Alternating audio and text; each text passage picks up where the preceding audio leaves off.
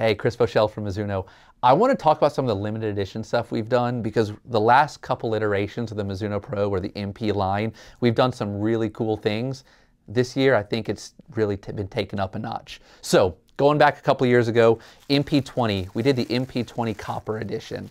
This was literally the introduction of when we started putting copper underlay underneath our uh, underneath the chrome on all the MPs and all the Mizuno Pros. So kind of showing off the technology. That's something we still do today. But this copper finish, man, it's this was something special.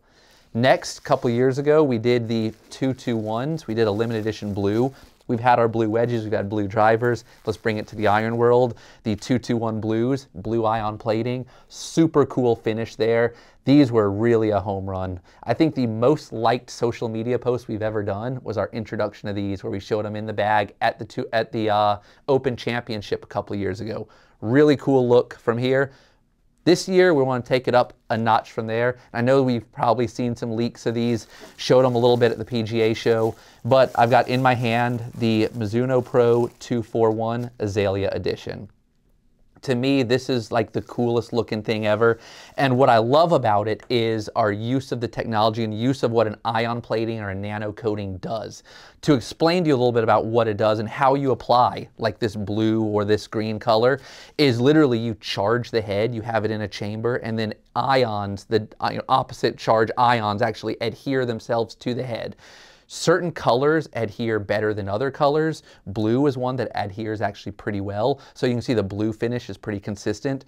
Green is a pretty unstable color. What I mean by that is it goes through stages before it gets to green. So on its way to green, it goes through a pink stage.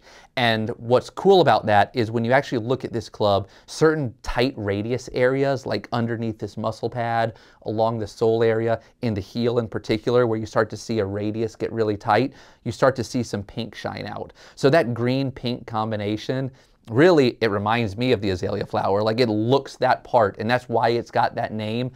It's, you know, the timing of it, of when we're showing it, is, is, not coincidental. But the reason we're showing it is because we are so excited about this finish, something we've never done before. I don't think anybody's seen a finish quite like this. It's our new limited edition azalea set. Get yours because there are only a couple out there.